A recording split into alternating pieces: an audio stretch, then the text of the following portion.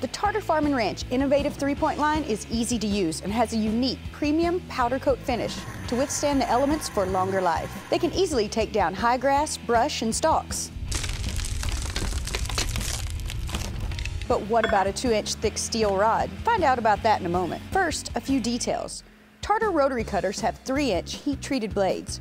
The implement's rear wheel lets you adjust the height of the cutter, and that can help you avoid things you don't want to run over. A 2 inch thick steel rod sticking out of the ground is a perfect scenario Tarter safety experts designed to test the rotary cutter. With blades moving full speed, the cutter is lowered onto the steel rod. Everyone at the testing site has taken cover. There's a real danger that exists with flying debris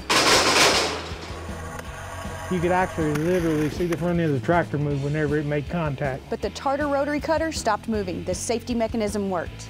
We uh, bent the two inch rod over. We've got some damage on top to where it sheared off the metal at the top, but we have no damage at all to our blades. By replacing the safety bolt, the rotary cutter was back in business, facing the next extreme challenge. Our cutters can handle it. Absolutely, we test them all the time. A field of tall brush that hadn't been touched in over five years was no match for our rotary cutter.